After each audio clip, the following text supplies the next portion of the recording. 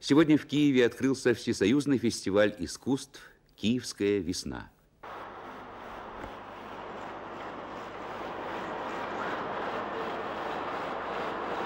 И открылся этот фестиваль традиционным концертом дружбы на склонах Днепра у монумента воссоединения Украины с Россией. Это уже 17-я фестивальная весна в Киеве. И с каждым годом афиша ее становится все богаче. Вот и сейчас только из Российской Федерации приезжает 11 коллективов.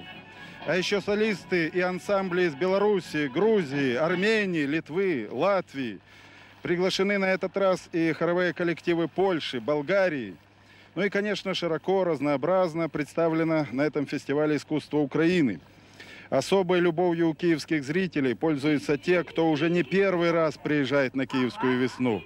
Частый гость фестиваля, например, кубанский казачий хор, вокально-инструментальный ансамбль «Чаровницы» из Белоруссии или полесский ансамбль песни и танца «Ленок».